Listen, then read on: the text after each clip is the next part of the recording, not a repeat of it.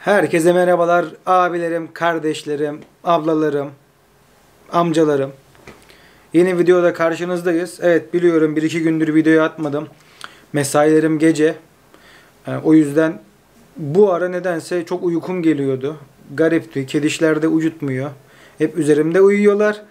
Ben dönüyorum, onlar dönüyorlar. Uyandırıyorlar beni böyle az uyuyorum. Sonra gece mesaim oluyor. Mesaide de belli saatten sonra düşüyorum.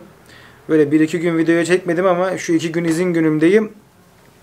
Hemen de video çekmeye başladık. Bugün gördüğünüz üzere saçlar açık.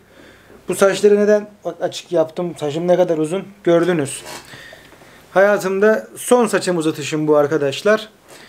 Ee, gençliğimizin son zamanlarını yaşıyoruz.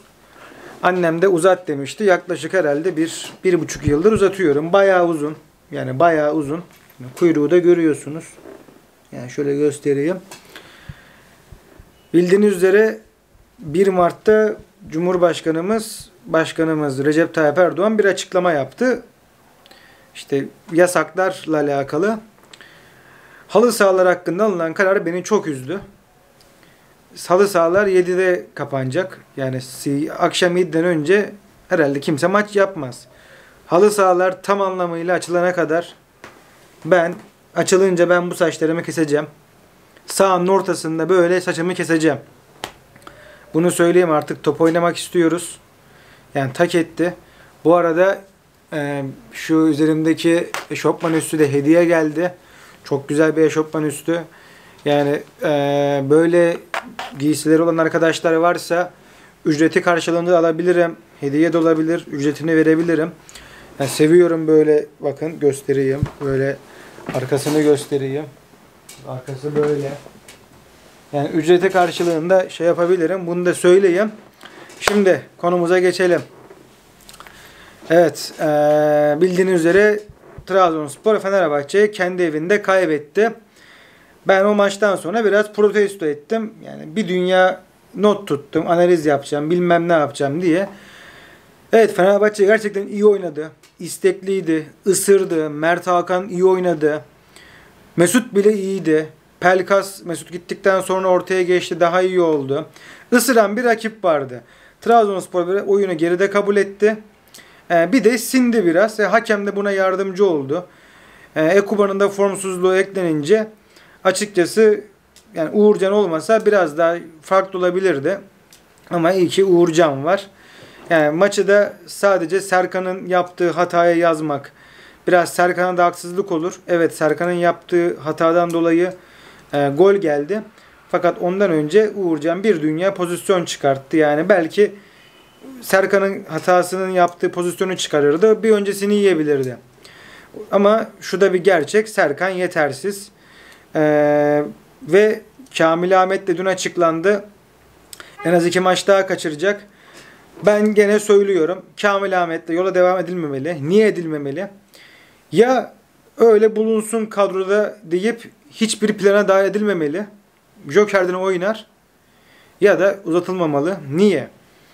Pereira yollandıktan sonra Serkan ve Kamil'le idare edilirim dedindi. Edilmediğini gördük. Kamil sakatlanıyor. Yani bek rotasyonunda seneye Kamil Ahmet'in olmaması gerekiyor. Artık o yönetimin bileceği iş.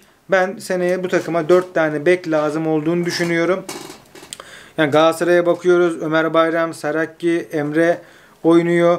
Galatasaray'da Lines, Omar ya da Omar şey gözünde sıkıntı olduğu için e, Yedlin. Trabzonspor'da böyle bir kalite yok. Yani bu konuyu ben size de soruyorum. Kamil Ahmet'le sözleşme uzatılmalı mı uzatılmamalı mı? Bence uzatılmamalı. Bir oyuncu arkadaşlar yoksa yoktur. Olmayan bir oyuncu üzerine plan yapılmamalı. Yani üzerine plan yapıyorsun bak yok. Evet ucuz evet düşük maaş alıyor. Ama üzerine plan yapıyorsun. Yani üzerine plan yapınca olmuyor. Yarıda kalıyorsun. Tamam beğeniyorum oynadığı zaman. Oynadığı zaman. Oynamayınca bir performans yok. Bilmiyorum belki ben mi çok katı gözle bakıyorum ama e, bence seneye uzatılmamalı. Hatta seneye yani minimum 3 tane bek alınmalı. E, Serkan da kendini geliştirilmeli, geliştirmeli. Oyuncu hata yapınca çok tepki görüyor. Gerekirse seneye kiralık verilip yani iki sağ beki, iki sol beki bek alınmalı. Çünkü farkı görüyoruz arkadaşlar. Yani Fenerbahçe'de Salah'ı sol bek oynadı. Trabzonspor'un iki bekinden de daha iyi oynadı. Bek, bek performansı olarak. Ki Trabzonspor gibi takıma karşı. Yani alın sizi bu siz karşılaştırın. Ayrıca yani Trabzonspor aslında iki bek değil dört tane stoperle oynuyormuş gibi bir durum var. Çünkü beklerden hücum katkısı hiç almıyoruz ve çok ileri çıkmıyorlar. Evet hoca kararı bu büyük ihtimalle. E ama yani işte bu katkıyı almayınca da farkı görüyorsun. Ben Abdullah Avcı'yı zamanına çok eleştiriyordum bir hücum planı olmadığı için. Bu maçı kaybettiği için eleştirmeyeceğim. Şimdi sosyal medyaya bakıyorum. Ee, böyle yani yorumcu adı altındaki kişilere yani çok popülist yorumlar yapıyor ki Trabzon'la ilgileniyor bu arkadaşlar. Yani her şey ortada arkadaşlar. Bu maç kaybedilebilir. Alt tarafı bir maç kaybedildi. Evet hocanın hataları var. Yani bunu söylemeye çekiniyorlar. Yani hocanın bu maç özelinde hata yaptığını söylemeye çekiniyorlar. Hocanın hata yapması demek hocanın kötü hoca olduğunu göstermiyor. İlla bu, bu takım maç kaybedecekti. Yani ne yapsın Ankara gücüne mi kaybetseydi? Yani Fenerbahçe'ye kaybetti. Ki onun da yani nasıl kaybettiği ortada kötü oynadığı halde puan alabilirdi. Yani eleştirmekten korkmayın ya. Popülist popülist yorumlar yapmaktan korkmayın. Yemin ederim arkadaşlar siz değerli takipçilerimin yorumlarını okuyorum. Ben bütün herkesi takip ediyorum. Bütün her bütün yorumları dinliyorum. Trabzon hakkında yorum yapan herkesi özellikle dinliyorum. Zaten haber kaynağı olarak Yunus Emresel ve Hasan Tuncel onlar haber kaynağı, yorumcu değiller. Bütün bilgileri onlardan zaten şey yapıyorum. Onlarla sürekli telefonlaşıyorum. Onları ayrı koyuyorum. Onlar on numara zaten ama diğerleri popülist popülist yorumlar. Yemin ederim sizin yorumlarınızı çok seviyorum, istiyorum ki ben de hatam varsa düzelteyim, fikir alışverişi yapayım, başka açıdan bakayım. Böyle bir eyyam olmaz, böyle bir korkaklık olmaz. Yani bunu söylemeye korkuyorlar. Evet Abdullah Avcı maçta Fenerbahçe'yi iyi analiz edemedi. Fenerbahçe daha iyi analiz etti. Erol Bulut daha istekliydi. Takım konsantrasyonu Trabzonspor'da bozuktu ki bunu nerede gördük? Yani Gökhan Gönül'e Vitor Hugo'nun Abdullah Avcı'nın takımında ön direkte kafa vurdurulmasından bunu anlayabiliriz. Abdullah Avcı büyük ihtimalle o pozisyonu gördükten sonra çılgına dönmüştür. Yani takımın konsantresi düşüktü. E, yani olur böyle şeyler. Hocanın da şeyi olacak. Fatih Terim geçen sene rezaletti. Bakın şimdi nasıl duruyorlar arkasında. Yani bu hafta herkes takıma küstü. Bakıyorum hiç kimse herkesin yüzü somurtuyor. Yani herhalde Abdullah Avcı bize kötülük etti. Bu kadar maç kazanarak. Futbolda kazanmak da var, kaybetmek de var. Yüze ekşitmeye gerek yok. Bu hafta Kasımpaşa'yı yeniyoruz.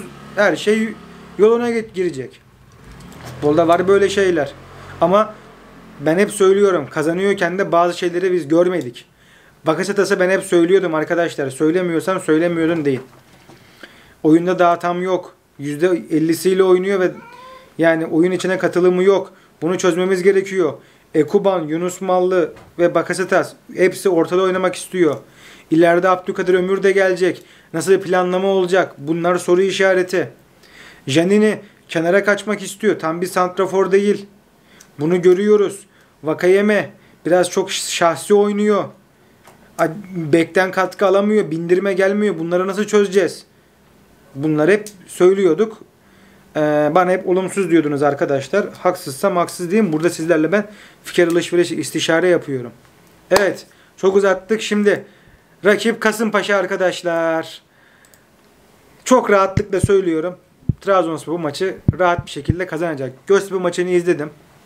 Göztepe maçında e, Kasımpaşa zaten kırmızı kart da görmüştü.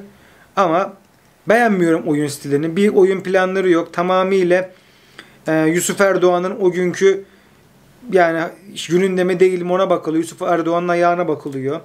Bazen belli bir oyuncular çıkıyor. E bir de Aytaç'ın durumuna bakılıyor. Yani başka bir numarası olmadığını düşünüyorum. E, çok sinameki bir takım geliyor bana. Yani çok sinameki geliyor. E, yani zaten hoca gönderiyorlar, şey yapıyorlar. Hiç tasvip etmediğim bir takım. Şimdi Trabzonspor'un Kasımpaşa maçındaki eksikleri Trabzonspor'un bu maçta çok eksiği yok.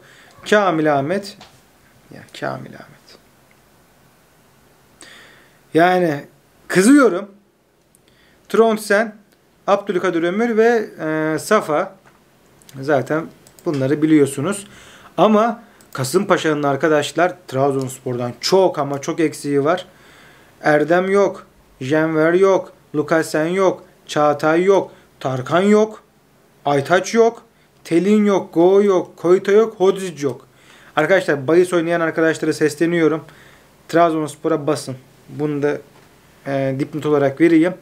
Çok eksiği var Kasımpaşa'nın. E, Kasımpaşa'nın nasıl bir ilk 11 ile çıkacağını düşünüp söylersek yani tam söyleyemiyorum. E, sizin için bir ilk 11 yaptım ama kalede Ertuğrul şu Fenerbahçe'nin 1 milyon euroya Boluspor'a sattığı yıldız kaleci Ertuğrul Taşkıran kendisine dikkat edilmeli. Yani defansta Hader Gonay, stoper ikilisi Breçka Tosic, e, Haddadi. Orta saha ikilisi Aytaç çok biliyorsunuz. Sadikov ve Bistrovic, Yusuf, önlerinde Yusuf, Hadergonovic, Varga, Varga tehlikeli ve Komson. Şimdi yani Ankara şey, e, Kasımpaşa'nın hücum yapısı arkadaşlar Yusuf, Varga ve Komson sürekli dönerek oynuyorlar. Dikkat edin ve çok hareketliler. E, bu bizim için bir sorun olabilir ama şöyle de bir olay var. Trabzonspor'un bekleri zaten çok çıkmıyor. Savunma çok çıkmıyor. Yusuf'un iş yaptığı maçlara bakın. Savunmanın öne çıktığı işte derbilerde, büyük maçlarda iş yapıyor. Galatasaray'da paso golü var zaten. Ben bunu Trabzonspor'a beklemiyorum. Çünkü beklerimiz çıkmıyor. İleride inşallah bu düzelecek. Yani çıkan beklerimiz olacak. Ee, biliyorsunuz Kasımpaşa'da Drinkwater gibi bir oyuncu var yedek. Yani Drinkwater'da ne hallere düştü. Ben maçın rahat bir maç olacağını düşünüyorum. Ee, Vitor Hugo'da bildiğiniz gibi Trabzonspor Fenerbahçe maçında burnu kırılmıştı. Kendisi döndü. Valla ben bir bakıyorum Trabzonspor'un son yıllarda yani yaptığı en iyi 5 transfer arasına girer. Çok klas ya. Çok karizmatik zaten. Ee, ve gerçekten takıma güven veriyor yani. Takıma güven, düşmana korku veriyor. Ee, herhalde sağlamlık olarak şu an en iyi stoper yani. Sağlamlık olarak. Yani belki evet biraz daha önde oynadığında da görebiliriz. Şimdi transfer biraz geride oynuyor. Ama şu an bunu rahatlıkla söyleyebilirim. Ee, yani bu eldeki malzemeye göre süper oynuyor. Belki başka takımda daha iyi olacak ve skor katkısı da var. Yani muazzam. Onun olması gerçekten önemli. Çünkü psikolojik açıdan önemli. Şimdi Trabzonspor'un beklediğim ilk 11'i kalede Uğurcan. Bildiğiniz gibi Serkan çok tepki çekmişti ve Kamil Ahmet sakat. Sağda Flavio'yu bekliyorum. Stoper ikilisi Edgar Hugo, Marlon, sol, sol bek. Orta sahada Flavio olmadığı için e, Berat ve Abdülkadir Parmak olabilir ya da Berat ve Baker olabilir ama ben Abdülkadir Parmak oynayacağını düşünüyorum. E, sağda Ekuban, ortada Bakasetas, solda Vakayeme, ileride Janini. E, benim beklediğim ilk 11 bu. Hoca maç kaybedildi diye çok radikal değişiklik yapma. Janini'yi kesmez, Ekuban'ı kesmez. Yapmaması gerekiyor. Ekuban'a bir uyarı yapılması gerekiyor. Ee, yani bu maaş olayları falan biraz beni rahatsız ediyor. Ya, bu Bosman kuralları beni çok rahatsız ediyor. Oyuncuyla anlaşıyorsun 5 yıllık bir belli bir paradan. Oyuncuyu performans gösteriyor. Maaşına zam istiyor. Olay çıkarıyor. Ama kötü performans gösterdiğinde kulübün bir şey yapma yetkisi yok. Ya ben bilmiyorum. Olay o mu bilmiyorum. Yani öyle lanse ediliyor basına. Ee, zam yapılmalı Ekuban'a ama sözleşme uzatılmalı yani. Direkt olarak zam yapıp aynı e, sözleşme sonu kalmaması gerekiyor. Öyle bir şey olursa büyük amatörlük. E, Bakas Yunus Mallı'nın da bir an önce hazır olması gerekiyor. E, Bakasetas çünkü yani Bakasetas'ın bir forma yarışına girmesi gerekiyor. Tamam kaç maç etti biraz hareketlilik görmek istiyoruz. Yani skor katkısı var ama oyuna katkısı olduğunu ben düşünmüyorum. Bilmiyorum siz katılıyor musunuz? Ee, bu yorumlarınızı bekliyorum arkadaşlar. Sizden ilk 11 yorumlarınızı çok merak ediyorum. Kamil Ahmet hakkında düşüncelerinizi merak ediyorum. Ee, ve Ekuban ve Bakasetas hakkında yorumlarınızı merak ediyorum. Ee, bu maç çok önemli çünkü ondan sonra Trabzonspor Alanya'yı ağır, ağırlayacak. Ee, Alanya maçında da şöyle bilgi vereyim Alanya Spor. Deplasmanlarda sıkıntılı. Son 9 deplasman maçında kazanamadı. 3 beraberlik 6 mağlubiyet. Ve bu hafta da Alanya Spor'un sınırda olan oyuncuları Mobanje, Berkan, Efecan, Barreiro. Gençler Birliği'nin maçını kazanıp, şey pardon Kasımpaşa maçını kazanıp Alanya Spor maçını da kazanırsak Fenerbahçe maçı telafi edilir. Çünkü Fenerbahçe, Galatasaray, Beşiktaş illa puan kaybedilecek. Yemin ederim dün Yeni Malatya Beşiktaş maçını izledim. Ligimizde rezalet top oynanıyor. Yeni Malatya'nın oynadığı topu görünce iğreniyorum. Trabzonspor'un maçları çok zevkli geçiyor. Gerçekten ama yani Yeni Malatya Beşiktaş maçı çok rezalet bir maçtı. Üf, Bilmiyorum arkadaşlar. Ee, videonun sonuna geliyorum. Bu arada söz verdiğim menajerlik videosunu o beni aradıklarında yaz dönemi, ondan önceki dönem Sörlot, Ekuban, Plaza hakkındaki videoyu elbet yapacağım. Zaman olunca yapacağım. Gündem yoğun. Çekimler var. Sosyallik kadrosunu bu hafta sizlere paylaşamadım. Falan filan. Ve ayrıca bir transfer haberi var. Ee, olacak gibi ben yani olmasına çok ihtimal vermiyorum ama ciddi ciddi haberleri geliyor. Onun da videosunu e, yaparım Kasımpaşa maçından sonra. Sizleri seviyorum. Yorumlarınızı bekliyorum. Abone olmayı unutmayın. Şimdi kedi saldırdı mikrofona. Kediyi de alalım. Gel bakayım kediş. Bu da benim kara kedi.